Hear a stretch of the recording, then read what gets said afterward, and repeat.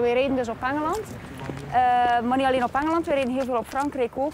Er staan hier twee verschillende trailers. We hebben eigenlijk al geprobeerd voor de wereldbol een beetje anders in te stellen, omdat het minder zou opvallen. Maar ja, eigenlijk, het heeft niet veel zin. Het heeft niet veel zin. Ze proberen echt alles. en dus gelijk welke hebben het logo aangepast omwille van het transitmigrantenprobleem? Het heeft er toch een groot deel mee te maken, ja. Het bedrijf Acutra transporteert voedingswaren tussen het Europese vasteland en Groot-Brittannië. Vooral dat laatste land maakt de vrachtwagens van het bedrijf erg aantrekkelijk voor transmigranten, met alle problemen van dien. In de palettenbakken proberen ze ook te kruipen. Wij hebben normaal sloten, die trailer is leeg, dus er zit niks in. Dan eh, hangen de sloten hier aan, maar als ze dat niet open krijgen, dan nemen ze een groot breekijzer of iets anders, steken ze dat ertussen, breken ze dat open, die scharnieren worden geplooid, dus heb je opnieuw schade. Dat betekent ook kosten om dat te herstellen en zo, maar misschien ook kosten om te beveiligen. Heeft u een idee hoeveel het hele probleem jullie al gekost heeft? Al gekost heeft? Dan kan het niet wel zijn dat we per trailer een investering doen van om en bij de 1700 euro. Extra maatregelen dan de chauffeurs meekrijgen, sloten, speciale alarmen, camera's. Wat dat eigenlijk niet verplicht is, maar dat je wel doet voor de veiligheid van de chauffeur maar ook voor de veiligheid van de wagen en de goederen. Maar het aantal transmigranten neemt alsmaar toe en daarmee ook de wanhoop van de transportbedrijven. Wat moet je zeggen tegen personeel? Wat moet je zeggen? Het komt allemaal goed. Wanneer?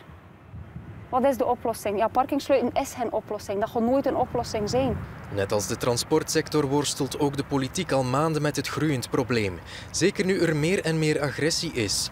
Na de dodelijke steekpartij in Wetteren eergisteren heeft de burgemeester nu ook daar beslist om het parkeerterrein de komende drie maanden te sluiten voor vrachtwagens. 24 uur op 24. En dat is erg tegen de zin van de transportsector. Dat heeft niet enkel meer gevolgen voor eh, de Belgische chauffeurs, maar ook voor de buitenlandse chauffeurs die hun nachtrust niet kunnen nemen, maar die ook overdag de pauzes niet meer kunnen nemen op de reglementaire tijdstippen. Inderdaad, men zal binnenkort vanuit Calais naar Brussel moeten rijden om nog een parking te vinden die geschikt is.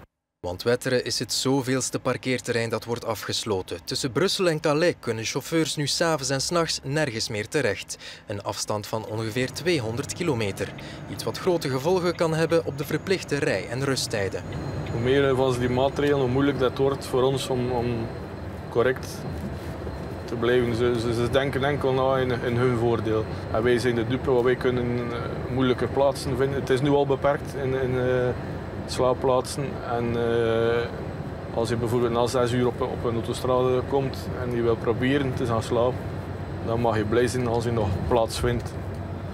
Dus uh, het is niet de bedoeling dat ik uh, om drie uur middags al stilsta voor te zijn van ik ga hier mijn nacht nemen. Nee, sorry.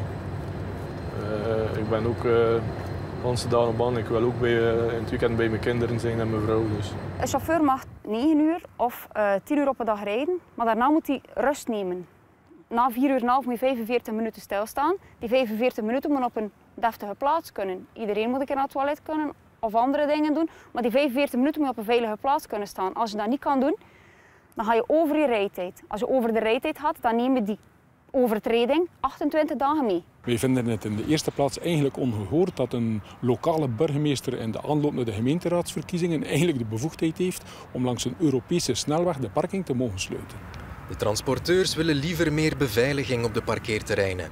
Het geld daarvoor moet gevonden worden in de opbrengst van de kilometerheffing. Ik denk dat wij ons ook stilletjes aan belachelijk aan het maken zijn in het buitenland. Eh, we willen de logistieke draaischijf van West-Europa worden. Dat is althans de ambitie van de Vlaamse overheid. Maar wij slagen er niet in om een parking te bewaken.